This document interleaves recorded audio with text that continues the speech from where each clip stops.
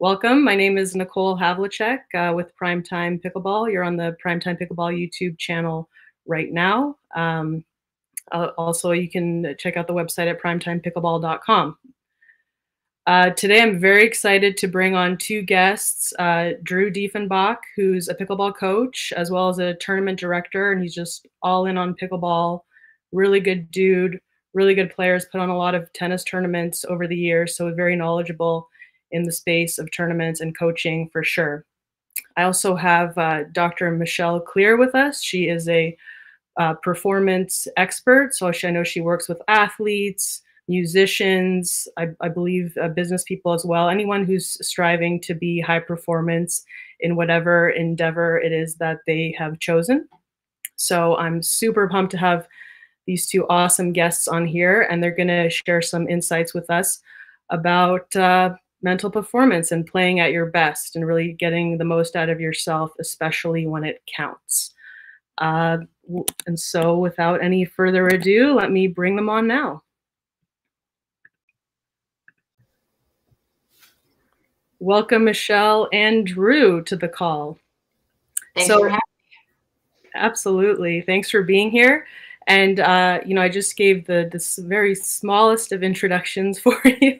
Uh, so if you could, um, I'd love you to, since you know your background better than I do, I'd love uh, you guys to share, you know, a, a, bit about your background, how you came to pickleball, just uh, you know, let us know about that. So why don't we start with uh, Dr. Michelle? All right. Thanks, Nicole, again for having me on. I appreciate it. Um, yeah, so as you said, I'm a performance coach and I work with a lot of different performers at different levels uh, in a lot of different areas um, in a lot of different ages. So uh, I work with a lot of people around helping them to align their head and their body so that the two can work together more efficiently because we practice to play pickleball and then we get into a tournament and what's the first thing that happens? Your head goes. So it really is about aligning these two sort of systems and uh, feeling like you have some control over those ups and downs and emotions that are happening before and during and after um, you know, playing pickleball and, uh, you know, and again, other sports and other performers. But I've been doing this for 20 years and I love it. Um, I've worked with several pickleball players, professional, you know, all the way down. And it's a lot of fun helping people to um, be able to perform more optimally just with kind of like a small switch. So it's a, it's a great thing. And I love pickleball. I uh, in my in my last video called myself a pickleball addict. Uh, it's it's just a great thing. I think uh, I just think you know I've been an athlete all my life. I played four sports in high school and I've you know done triathlons and marathons and all kinds of things and a little bit of tennis. But when pickleball came around and I started playing, it was uh, yeah, it was just amazing, and I I can't get enough of it. So playing now, working on the mental side with athletes. Um, Drew and I are doing a camp together in August and uh, just, you know, really enjoying life. awesome. Awesome. Yeah, we're excited to to dive into. I love what you said there about the little switches that can make a huge difference because like uh, people on are probably familiar with with the content on my channel and I'm very skill focused, but one of the like none of that really matters. Like it's all very important, but none of it matters unless you have like your mindset and your head right in order to be able to let that shine. So this is really the foundation, and that's why I'm super excited to have you guys on because I haven't done um, much on this topic, and I would love to do more. So thanks for being here, and let's uh, rotate to uh, Drew. Drew, tell us a little bit about yourself. Hey everybody, my name is Drew Diefenbach. Nice to meet all of you uh, hopefully in person one day, but right now online. Um, yeah, so I grew up playing tennis my whole life. Started when I was five years old. I I was a, a nationally ranked junior. I played collegiately, um, and I've been wor- I've been running my own tennis business for the last eight years. Uh, I've lit I've uh, worked in the tennis industry for the past eleven years.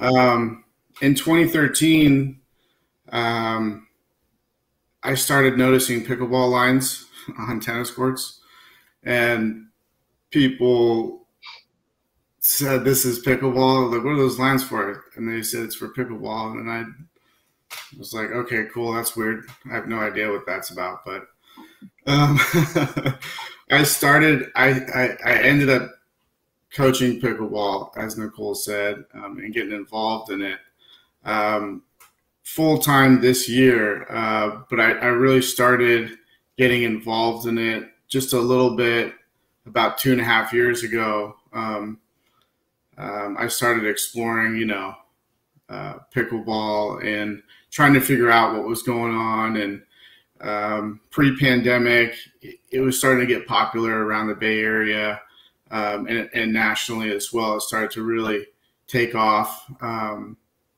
and so I had to answer the question, what is pickleball, you know? Um, so it's been quite a journey, um, that's for sure. Um, last year, I started competing. Um, and yeah, I, I, definitely realized that it's a different game. It's not tennis. It has a lot of similarities, um, a lot of my strengths in tennis apply. A lot of my mental, I guess, strengths uh, applied as well. But the nuances of the game started to bring up uh, different mental challenges and different uh, technical challenges that I had to figure out and try to overcome. Um, and me as a player today, that's kind of that's kind of where I'm at. Um, I, I, started off playing 4-0, um, and now I play in the 5-0 and uh, professional uh, divisions. I'm not to toot my own horn, but I've gotten a lot better. Um, I think I'm. Uh, I'll just stop right there. yeah, I can attest to Drew's a, a fabulous player. I've, I've, seen him play, and I know his tennis history, and all those skills translate well. But of course, like you said, it's a different game, and he just like anyone had to learn to play pickleball, not bring tennis and try to play tennis on the pickleball court. So um, yeah, okay. So without further ado, I'd love to just uh, thanks for that, Michelle and Drew, sharing that your backgrounds with us. I'd love to jump to the Q and A now.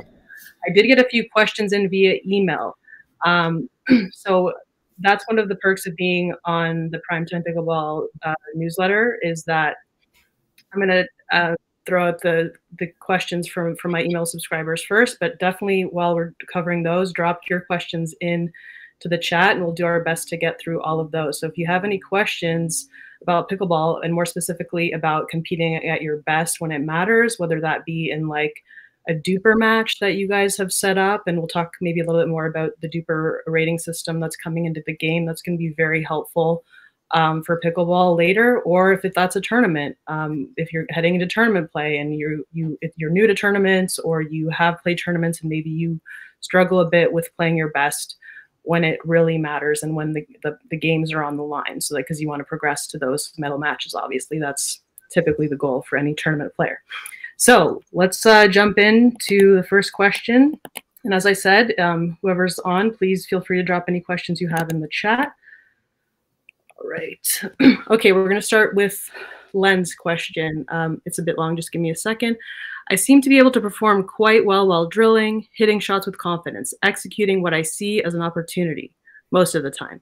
Then we will play and the pressure ratchets ratchets up immediately and I definitely do not feel as loose and confident confident as when I was drilling. I really have to talk myself into settling down and visualizing the drilling session I just came out of. I was hoping uh, okay, so can we speak to that? I'd love to speak to how we can maybe play obviously this i think this comes up a lot. It comes up for me i'm sure it comes up for you guys too. Like we're just we are just a little bit looser when we're drilling and the and the match or the games uh, there's nothing super on the line. So how can we bridge that gap? And why don't we um, start with michelle on that one? Yeah that's a good question. Uh, and you know actually that's where it all begins right is before the match. How do you deal with the nerves and the pressure that that comes up? Um, it's really difficult because as I said in my introduction, right, like you're all ready to go. And then all of a sudden it's like, uh-oh, what is happening? Right. Like I just drilled and I practiced and I feel physically ready to go, but not, not mentally ready to go. Right. So it's almost like these two parts of our body are, you know, separated before we're going to go play an important match or a tournament. Um, so over my 20 years of doing this work, um, I have identified really important areas where athletes, pickleball players need to really develop these mental skills to be able to deal with critical moments. And one of those moments is really before you're going to go play a tournament is figuring out kind of what headspace you need to get into. We all warm up physically, but no one really warms up mentally until they know that this is something that they should be doing. So, figuring out where you need to be before a tournament. Do you need to be a little calm and relaxed, or do you need to be a little bit pumped up? And then developing the skills to get yourself in that headspace is critically important. Uh, that gives you the best opportunity really to play sort of like you drill and like you practice.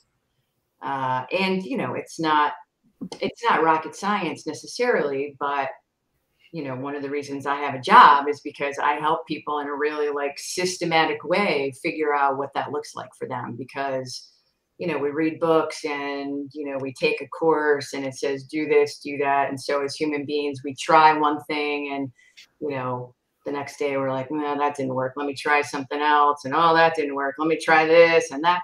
So it's hard, I think, as human beings to figure out what's going to work for us. And again, you know, that's why uh, I have my job uh, and I love my work because I get to help people figure that out uh, where do you need to be and how do we get you there? What small things? And then really reinforce that stuff so that it becomes second nature. Uh, but yeah you got to be able to understand that pressure in those nerves. And i tell all of my clients you know nerves probably are always going to exist right? Like nicole you just said it right? Like you have nerves. I have a little bit of nerves.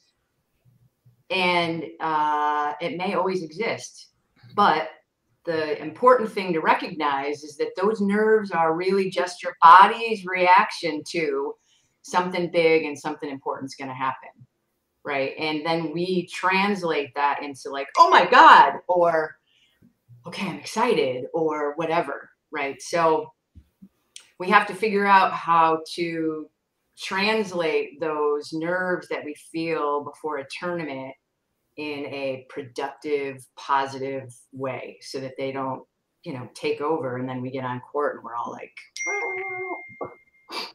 yeah, I like what I like what you said there. That's kind of a, a case by case basis. Like, remember when I was playing at Cal, we called it like getting our game face on, and the, but the game face was different for different people. Like for me, I need before I, I'm headed out to competition, I need to be quieter. I need to just not be relaxed, I, be relaxed, not have too many racing thoughts. But my teammate might need to be, you know, chatting or just kind of looking around or moving around. So, and it's it, that works for her, and that wouldn't work for me at all. But yeah. but we both go out and we perform really well because we've tested those different things, like you said, and we found what works for us individually, and we've gone out and done that and then we can both perform at our best but it could be different for person a b and c. Could be very different mental landscape. So you want to find out what that game face looks like for you is what you're saying and um, that could you got to just kind of test test your way through it right? Yeah absolutely or hire someone like me who can help you sort of weed through uh, how to put that together and then again sort of make that so that it becomes more automatic and second nature definitely, definitely. Awesome, great. Um, unless you have something to add, Drew, I'd like to just shift, shift to the next question so we can get get through them. Yeah, to wrap it up, what works? For, you know, find something that works for you. That's that's what I got yeah. out of it. You got to figure out what it is, and the the nice thing is when you find something that works for you, it feels like you have control, and that's going to be a really nice feeling because when you're in that situation, you feel like everything's getting out of control. So that's that's a great point. Yep, yep. Drew, awesome. what do you do before you play? Uh, before I play, mm, well, I got to get in a good warm up, and I and I nowadays I try to basically compete um, against another team or another, you know, from usually playing doubles, so that that will usually get me in the in the best, I guess, state overall. Um, you can get some points in, get some like uh, not tournament points in before you head to your tournament match. Yeah, for sure. Okay. Gotcha. Yeah, like you gotta you gotta be ready to go. Otherwise, if the other team's ready to go, you know they'll it, it'll run away from you real quick. You know. Yeah, I think that's a great point. I think a lot of people just warm up their shots, and they you got to warm up your like competitive engine too. So if you can find another team to play with for for like a few points before you go on, great. If you don't, then just play skinny singles against your partner. Like you yeah. want to warm up the competitive component as well. I think that's a great yeah. point. All right. Um, next we have um, from Waters not to be confused with Anna Leigh Waters or Leigh Waters, just first name Waters. What is the best strategy to identify your opponent's weaknesses in tournament play? So maybe you don't know them beforehand and you need to suss them out pretty quick. Like, what what would you do, Drew? Let's go with Drew. Well, unfortunately, one thing I don't like about pickleball warm ups is that you warm up with your partner so I have to look at my partner to warm up. Where in tennis, we would warm up against our opponents. And so you'd be able to hit certain shots to your opponents because you're warming up against them and kind of feel out your opponent while you're warming up. So it's a different thing, at least for me, to try to find out my opponent's weaknesses because I can't really look at my opponents if, if we're warming up because I'm not hitting against them. So what I do now is I, I the warm up when I get into a match isn't really for me to warm up anymore. It's for me to just look over at my opponents and see what they what they look like. You know, if, especially if I don't know them. So yeah, I'll warm up a little bit, but really I'm looking over, trying to figure out like, you know, do they have good drives? Do they drive well off their forehand? You know, better than their backhand? How does it look like when they're dinking? You know, you know what what does their mobility look like? Um, things like that. You know, if I can watch them play before, that that's you know going to tell me a lot. I'll see their style of play, you know what they do, switching stuff like that. Um, and then if I don't get to do any of that, I got you got to figure it out during the game pretty quick. Um, some people play the backcourt better. Some people, you know, play up at the kitchen better. Some are weaker. So we got to figure that out pretty fast because the, the games move fast. So those are some of the things that that I do. Um, and I would say there are differences. If you're a tennis player coming into it, it's a little bit different. So. Gotcha. All right, let's uh, head to the next question from David. My partner and I seem to be slow starters, always playing worse at the beginning of the day, even after a pretty good warm up period. We often lose to a team in the first game that we come back and beat fairly easily easily later. What advice is there to improve this pattern? Michelle? Yeah, that really goes back to what I was saying uh, a few minutes ago about making sure you're in the right headspace when you start off. Yeah. Uh, you know, I always say if you, you know, if you start off slow or if you come out and you start off losing, then usually that means, you know, you're not feeling quite confident or you're feeling a little nervous and anxious. And again, what can be really helpful is to figure out like how you need to, you know, enter that very first game so that you can start off feeling ready to go. Uh, you know, even a physical warm up sometimes most times is not going to get your head in the right headspace right so again we you know as human beings we generally think you know if i warm up a lot if i play like really competitive people beforehand um, you know i'm going to be ready to go but again oftentimes when i you know when i work with pickleball players uh, they'll say, yeah, you know, I do all of these things to get ready to go, but my head still wants to do completely the opposite of what my body is doing. So it goes back to just making sure that, you know, if you need to be more energized, that you figure out what you need to do to get yourself more energized beforehand. Is that listening to some rap music or pop music or uh, yeah, we just have to figure out how to produce that energy. You know, tired is kind of a funny thing. Uh, a lot of my clients will say, you know, I'm feeling really tired before I'm going to play. And when I ask them, you know, is that a physical thing or a mental thing? They'll say, oh, no, no, that's a mental thing. So, and it really is, because again, like these two pieces of our body are, you know, totally connected. So they all, all day long, regardless of what's going on, are impacting each other. Yep. Yeah. Great stuff. I think, yeah, a lot of what we covered in the first question applies here, just like you said.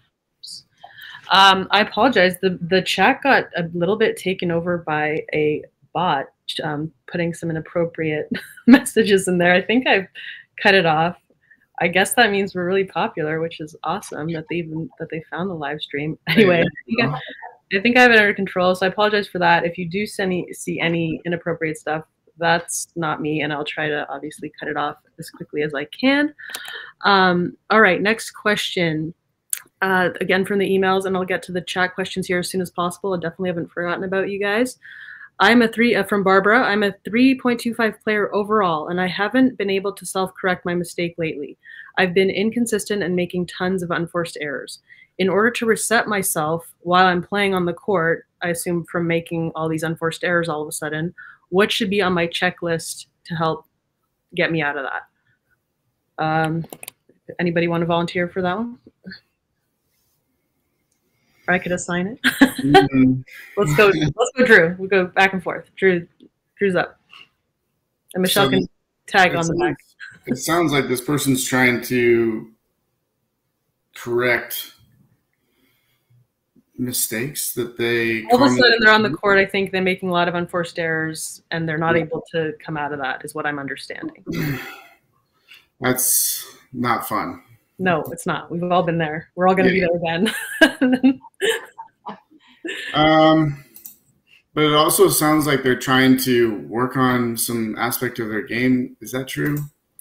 Um, I'm not 100 percent sure. Let's just let's just go with I think what what I put out there because I it's a little bit the question is not totally clear to me, but I think yeah. came across is that all of a sudden unfortunately mental, I think the mental piece definitely comes into play. You got to figure out like what it is that's causing that. And I mean, I, I, it could be a number of things, and there could be a number of solutions. Um, I think from that answer, I'll kick it over to Michelle. I'll jump in here real quick, and then I'll, I'll obviously kick it over to Michelle. She's the best one to answer, I think. So, whenever I found myself in this situation, if you're just like you're going like i'm trying to go for my cross court or my down the line or wherever i have a really specific target and you know at a high skill level you should have a very very small target and i'm just not making it like they're just all going like not not quite where i want so that was just exactly what you're talking about so I, I attribute it to a little bit like okay i haven't found my range let me find my range so i'll just all of a mm-hmm. sudden i'll just start hitting a lot right through the middle i'll go for the easiest possible shot middle of the box cross court, middle return. Like I'll just give myself huge margins for error and then I'll like try to sharpen it up. And then when I'm hitting like perfectly true middle, okay, like now I've found my range, then I'll start going for my, I'll start, start deploying my strategy again and going for like smaller targets. That's what I tend to do. I'd love to hear what Michelle has to say. So Nicole, that's one of the things actually that I was going to bring up is like it's important to like just you know not go big or go home, but just like you know take the shots you know you can make, right? Um, I think a couple of other things when we make a mistake, our ego kicks in and it's like, why did you do that? What is wrong with you? And then we get in our head. Mm-hmm. And when you're in your head, this is what I call multitasking, right? You're trying to play pickleball, but you're in your head. And it is multitasking because you can't be doing both things at the same time. And what's going to happen is you're going to get sucked up into whatever's going on in your head. So the game is still going on, but you're in your head. So you might be able to play, but you're sort of on autopilot. And then guess what? That then creates the next mistake and the next mistake, right? So that's those are two things what you said and then that and the third thing is making sure you have a really solid between point routine right like reset let that go or let that go reset let that go reset and every time between points you got to learn not to hang on to those mistakes or those unforced errors you really have to learn to train yourself i can't do anything about that right now I have to move on because the game is still going on. Yeah. Yeah. Okay. I think I'm. I can jump on board here. I mean, just from my experience, you know, it's like, what what's the one thing that I think that is causing it? You know, what's the what's like the main thing that I think is causing it? I mean, when I start making errors personally, you know, sometimes it's like I'm driving balls long in the net, or I'm trying to do a third shot drop. I see this a lot. People do third shot drops and they're like all going in the net. And they're like, oh my God, like, you know, what's going on? So sometimes I think, um, you know, are you doing the, am I doing the same thing? Do I just need to change my strategy and my shot selection? Um, have I assessed the environment? Is the wind, is the wind blowing you know, a lot more one way than than the other, and and I just didn't assess it really, and I needed to make an adjustment, hit the ball harder into the wind this way, you know. So it's just kind of like, have I made so many errors now that I'm totally freaked out, and now I need to use some sort of mental skill just to relax so I I can think about strategy. So I, personally, I think there's yeah there's there's a lot of different uh, different things. Um, but I think it's like, what's one thing that I can do that's going to probably help me get back to finding my rhythm? You know, you lose your rhythm and feeling like, man, like, okay, I got my rhythm back. I, I can hit this. Okay, yeah, great. I made that third shot drop. Finally. Okay, we're good. You know, those that's the feeling I'm trying to get to. Uh, as a player, and I think a lot of players want to get back to that that good feeling again. So, yeah, good stuff. I think that was really good stuff. Absolutely. I also think that we don't. I don't. I'm going to speak for myself. Drill and practice enough, um, and I think that people also there's a lot of people in that same boat that don't get to drill and practice enough. And there's a lot of reasons for that, right? Mm-hmm.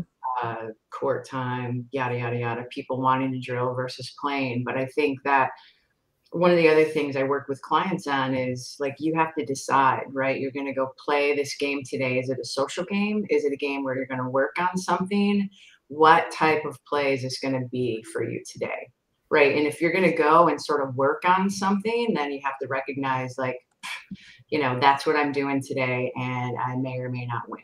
Right. So, but I think choosing, choosing and deciding like what what going out and playing means for you, I think is also important because, you know, and I'm again, I'm going to speak for myself. Like I play, play, play, right, and then I expect things to change, or you know, I get pissed because like you know I'm making all these like you know inconsistent unforced errors um, but i haven't chosen to like drill or practice so then they're you know now when i go and play i think about like okay what's what's my goal today? Is my goal to just go have fun? Is my goal to win? Is my goal to work on something? Mm-hmm. so i think that's also like critically important. Gotcha yeah. yeah. Great stuff great stuff. All right i want to keep it moving. Really awesome. Love it. Um, okay, uh, last email question, then I'm going to jump to the chat questions. Um, I'm going to reframe this a bit, but the original question is: What do you what do you do if you feel you're out of your league because nothing is going your way? How do you keep your head up when things aren't clicking? Okay, so I really think we covered that um, pretty well already, but I'm going to tweak the question a bit because this is a, a different question: Is what do you do because she says out of your league and you can be kind of outmatched in um in competition like you come up against a team and like wow like it's just clear that skill wise they're a notch or two above you, and the chances of you coming away with a W are slim. What can you do to get the most out of that to help you going forward? Uh, let's go with Michelle.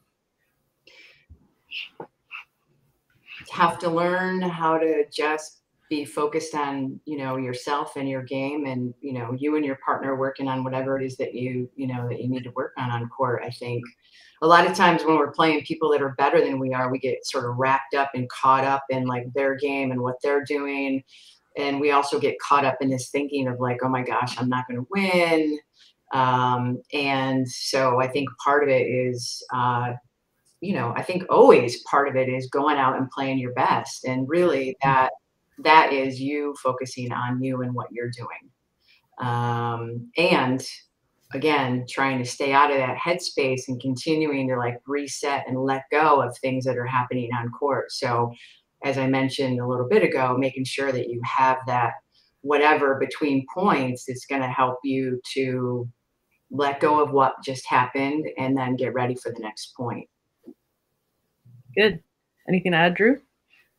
Yeah, I would say like nice job, you know, stepping up and uh, exposing yourself to getting your butt kicked because it's it's tough because it's just gonna it's just gonna show you how good you are, you know, how good you aren't. Um, and from my experience, it's worth it. You know, you're gonna become a better player most likely. Um, you're gonna see better shots uh, and if you're if if those players are that much higher than you, yeah, you're probably not to win.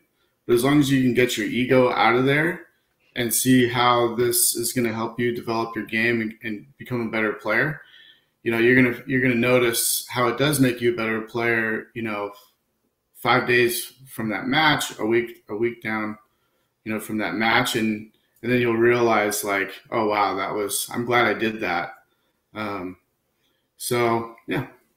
And walking away with like, what did I learn from that? I think is also important. So I think Drew, you're sort of alluding to that a little bit, but yeah, totally. Yeah, definitely. I think that's the way to go. Like, kind of if you could if you could see it as as a gift, like, okay, wow, I'm really gonna get to see um, what like what I'm up what I'm about here, and they're going to expose my weaknesses and it'll be clear that okay that's what i need to go work on and trying to just not try to like all of a sudden go for stuff that's way out of your range. Like play your game play within yourself like bring the skills you have to the table and and see what happens. It could be you had a great really solid game you pushed them and you came away with a loss of like 11-7 and you can feel great about that if you brought your best game to the table. So not only would you walk away feeling good you also know like okay what prevented you from maybe winning that? And then you can go back and use that as a stepping stone forward I I see because I'm, I'm on these forums like pickleball forum and all the other forums that are on Facebook and such, and a lot of the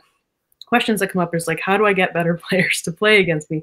Well, here's your chance. Go sign up for a tournament, and if you can set your ego aside and just like take the feedback, then that's a win. And a lot of people like don't put themselves out there like that. So do that. I commend you and I encourage you to do it because you're really going to come away if you approach it correctly like see it as a gift take this um, take the lessons go work on get better and come back again and do it all over again man you're just gonna like whoop, your improvement's gonna be happening a lot faster. Good stuff. All right let's pivot to the next question. I'm going to read through the chat so we may have covered your question so if, if that's the case i'm going to move on to the next question. Um, any suggestions about how to anticipate and track opponents' shots coming to us from Lawrence? Drew, how about you take that one? Yeah, I I use a mental technique, mental skill, basically, and the way it'll be told to you and what you've probably already heard is try to read your opponent's paddle face. Basically, if you can just look at your opponent's paddle and where it's angled, it'll tell you where the ball is going to go. So, for me as a player and as a coach, that's a skill that I use and I suggest other people use. And what we call it in the sports psych world is an external narrow focus. Um, you're looking at a narrow through a narrow lens, and that what you're looking at is your opponent's paddle, paddle face. So that'll help you anticipate um, in one way. Awesome. Um, let's. Uh, okay, I'll add something to that. Um, exactly what Drew said, and then also you can add on seeing how they're coming into the shot. Like if you see they're coming high to low, that's probably going to be a slice. If you see they're coming low to high into the shot, that's probably probably going to have some top spin on it. So in addition to what the paddle face angle ultimately ends up being at contact, you can read a lot from how they're coming into the to the shot. Um, yeah, the their body language.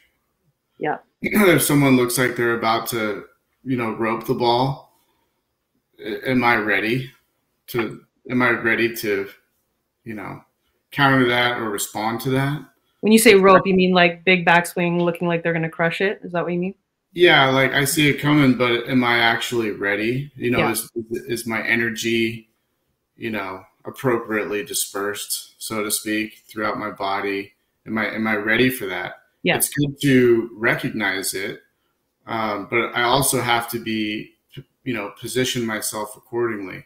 Yeah. So once you recognize it, that's great, and then the next question is is, you know, did I react appropriately to it? And then once you have those things kind of flowing together, it'll become second nature. That, that's what I find. The game will start to become, you know, more second nature, and then you'll hit shots like, wow, like I that just happened, you know, naturally. but you're doing those, you're doing those things. That's what I got. All right. Anything, Michelle? Anything, or you want to move? We can move on as well. Yeah, I just think court positioning is huge too, right? Like really practicing, like when you see, like when you're watching the paddle and you're seeing like, you know, body language on the other side of the net. I think it's really important just to make sure you're in the right position, right? If someone, yeah.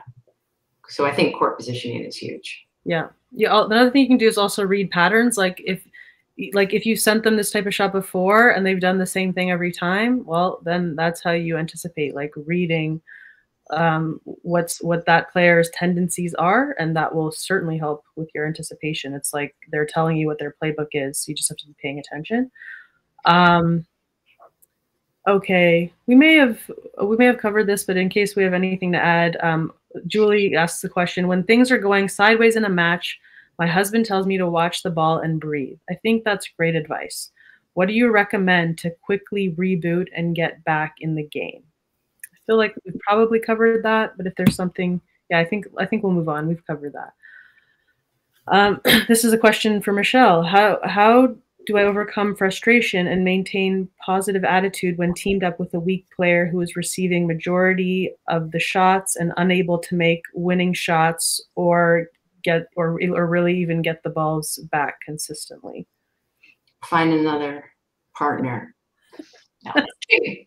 kidding, kidding yeah it's uh you know again i think it goes back to you know focusing on yourself and your shots right? And you can't control what your partner is going to do. So if you're going to partner with someone who is a weaker player then you just have to realize like that's what that's where you're at right? And you can't do anything about that.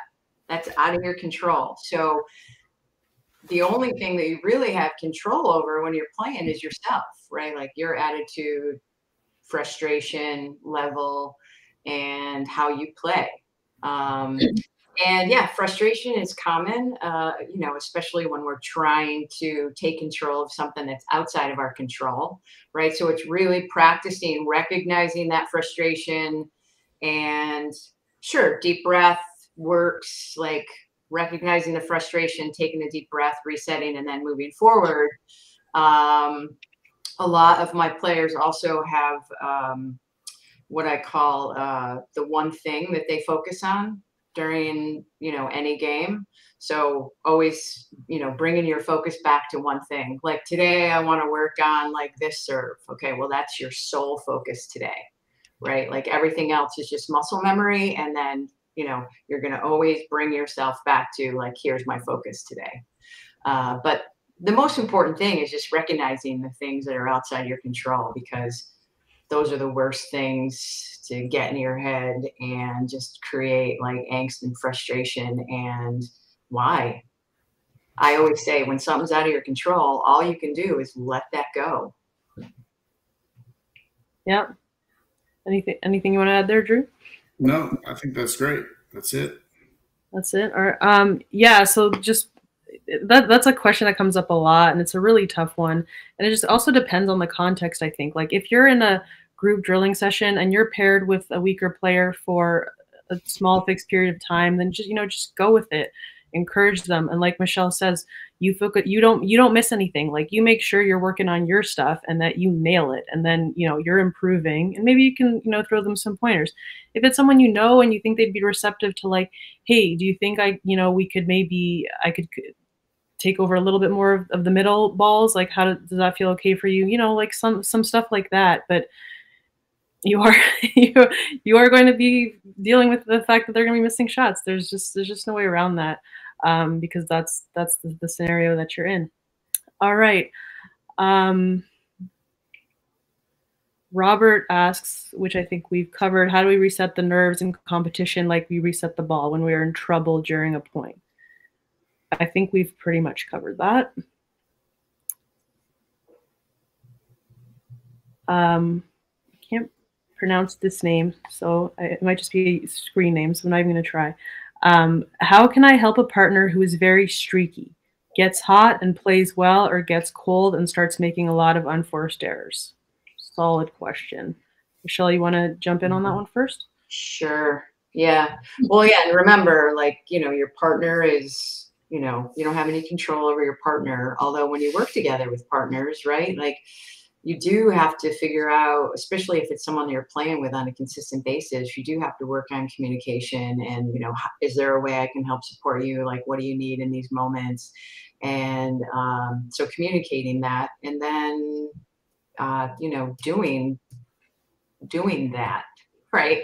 So many times you know we're playing with partners and we just uh you know we try to give what we think is like really kind nice like you know whatever feedback and the other person just can't hear it or can't receive it because that's not what they want that's not what they need. So it's really helpful to like communicate and check in with your partner and find out you know when these moments happen what do you need from me if anything right? Yeah yeah great stuff great stuff Drew, how do you what do you do when you're streaky. partner's hot and cold? Yeah. That's usually you. That's usually you're you're the streaky guy. No, I don't think so. I didn't think, I didn't think so either. I, I don't think, I'm the streaky guy.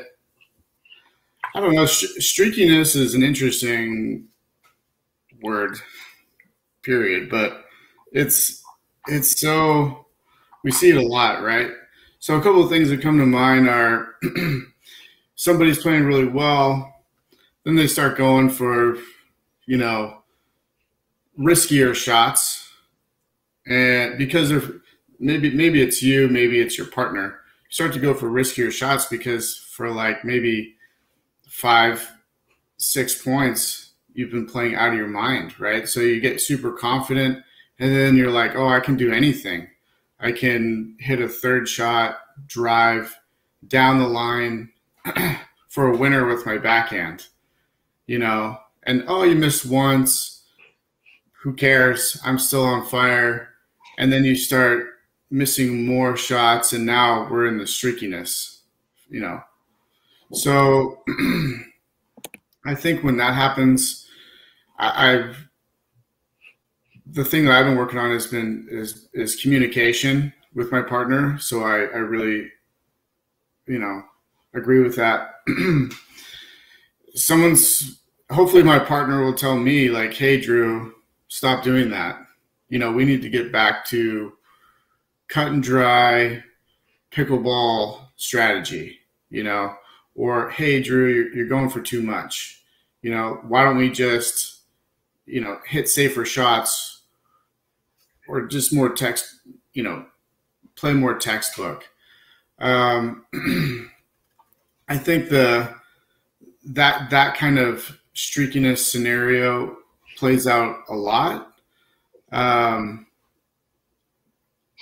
and really just going kind of back to the basics and communicating with each other, like letting each other know, like, hey, this is happening, you know, and doing it sooner rather than later is is going to be helpful. Um, yeah, that's that's what I got on that one. Take a Yeah. time out too if if you yeah.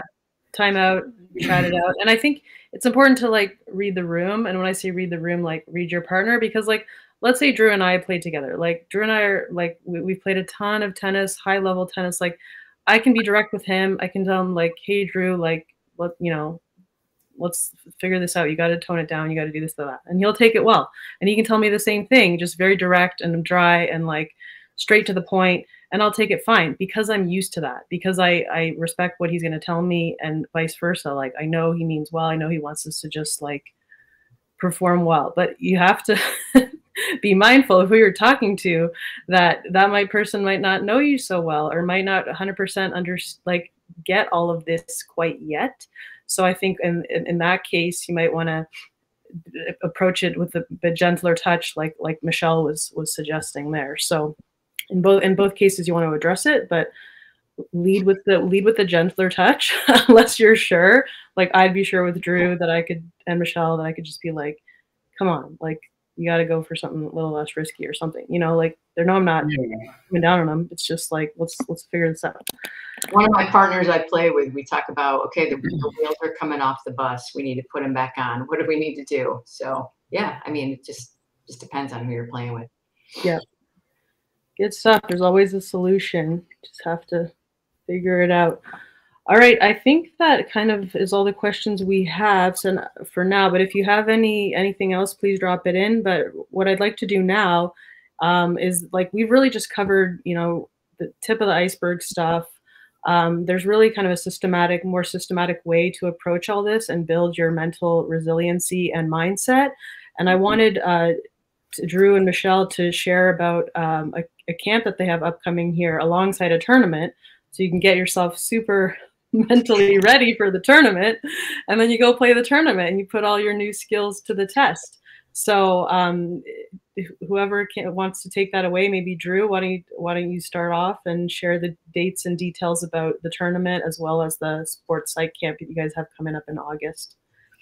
Sure. So yeah, it's kind of a first of its kind setup, and uh, Michelle and I are collabing on it. I didn't mention to I didn't mention, but I have a master's in sports psychology, and uh, Dr. Michelle was one of my professors. Oh, is that right? Okay, cool. Yeah. I did not know Yeah. that. So that's how we know each other. And then we ran into each other on the pickleball court and started talking. You know, me as a coach and a tournament director and stuff like that. So it was kind of like, okay, yeah, we should we should do a sports psych camp. so we've been working on this camp together. Uh, you know, putting together the format, and what we're going to do is a one day sports psych camp. Uh, the day before the tournament starts, it's August 25th. It's at Willow Pass Community Park. Um, Where? What city? Because we have people from all over. What's that? What city and state? Because we have people. Uh, Concord. California, the best city in California. Okay. California, at Willow Pass Community Park. Um, yeah, and then the tournament is the it's a three day tournament. Um, it's uh, the August 26th to the 28th at the same location. Um, so I think that kind of I'll, I'll let Michelle kind of tell you more about you know what's in the camp. Um, how about that? Great. Yeah. So I'll, I'll have some questions for you about the tournament, but let's have Michelle um, tell us about the sports psych camp, and that is immediately preceding the tournament, correct? And it's three days. Is that right? Yep. The camp. I'm sorry. Yeah, the tournament is three days, and the camp is a one day camp. One day camp for the sports psych. Okay. Um, you wanted to share a little bit more about the sports psych camp, Michelle? Sure. Uh, I have a system. It's called Beating the Demons, and it's uh, largely we've largely talked about much of it uh, during during today, but it's really going to help players to develop or think about and understand again all the important moments in and around like pickleball and uh, tournament play specifically. Um, you know how you show up how you warm up mentally um, and you know helping them to figure out how to get in the right headspace uh, how to deal with mistakes uh, we're going to talk about confidence and communication and working with partners and uh, just really how to think about competition and pickleball. Um, so not only develop the skills, but really think about, you know, sports is a tough, it's a tough thing for people. Competition is a tough thing for people. Like they want to do it, but then we get in it and it's like, uh, yeah, I don't really, I mean, you know, there's no handbook for it, right? From a mental perspective. So really walking people through the before, the during, and the after, and helping them to understand it and develop the tools they need for dealing with all of the like sort of ups and downs. So we're gonna do some classroom stuff and then have them utilize that stuff and play a little bit and then go back to the classroom. So it's going to be a really good mix of uh, theory and application and theory and application throughout the whole day. It's going to be rock solid. Awesome, awesome. And I um I've dropped all the, the links for the sports psych camp as well as the tournament, as well as how to connect with Drew and Dr. Michelle in the description of this video. It's on the chat because I can't paste links there. And when I'm looking at it, I'm not logged in as prime time. So it's in the description. All the links are there to, um, if you are wanting to check that out. And Drew, I have some questions for you about the tournament. So it's mm-hmm. it's a round robin, correct? And it's got prize money. Is that right? Yeah, it does. Um, yeah, it's a prize money tournament. We have singles uh, and doubles. Um, if you like playing singles, that's a whole different world, um, as you know uh, or if you're going to try to play singles for the first time. Uh, but we have doubles, we have men's, women's, mixed, 19 plus, and 50 plus from the 3 0 to the uh, open level range. There's a lot of really good players. Um, we've got some good signups right now. And this is our second tournament uh, this year. The first one went, went really well. Um, we're hoping to build on that and make this event even better. I uh, would love to have you, um, you know, come out to Concord, California. If you're not from the area and you're looking for a place to stay, if you go to the tournament website, we've got discounts on lodging. Um, you, you can get some, you can get a free $50 stay and play package. Uh, you can check that out. Anyways, it should be a, a lot of fun um, and hope to see you there.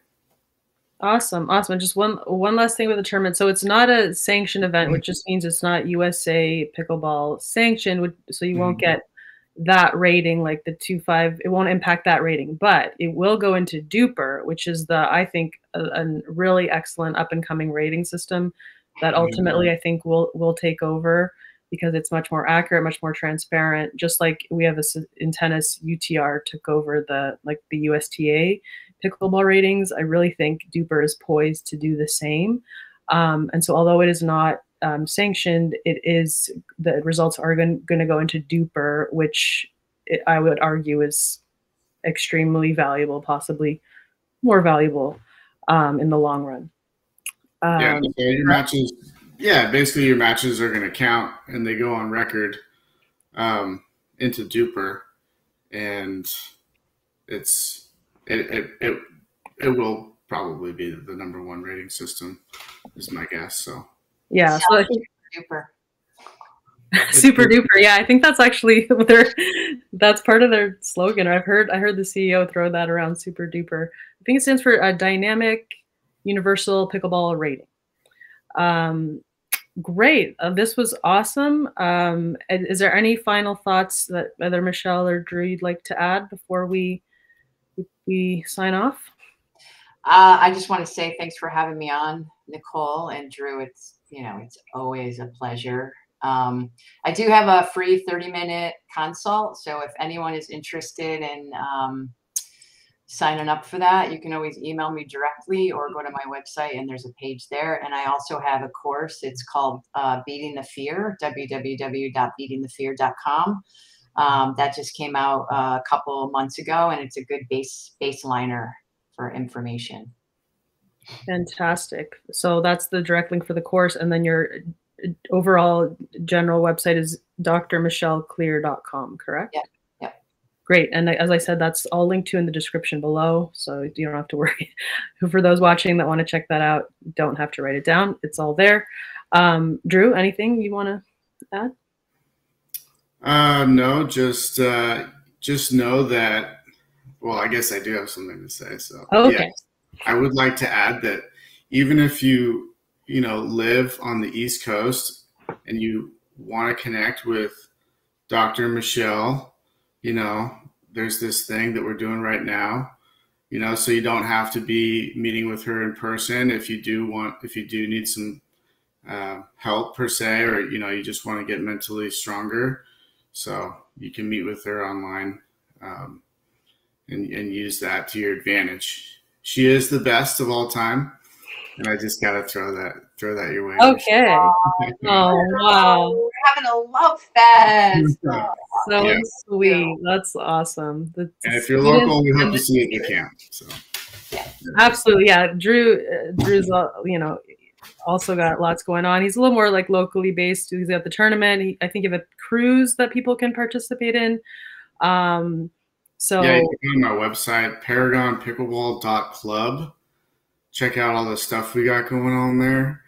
If you do go on DUPR and and you know eventually I'm gonna we'll have the Paragon Pickleball Club on DUPR. You can join it. Um, just add your name. You can join any DUPR club. Um, but hopefully, you know, you want to join ours. Uh, and that's all I got. No more, no more plugs for me. yeah, and you know, uh, Drew, I've taken a group um, clinic with Drew, and uh, he's a really great coach too. So let the love fest continue.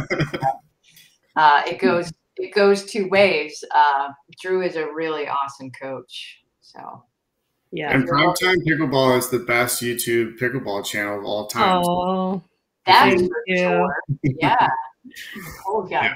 great stuff. Thank you so much. I thanks for that, and I super appreciate you guys coming on. Um, really, really good answers. Honor you both. I can't wait to see you again when I'm back in California.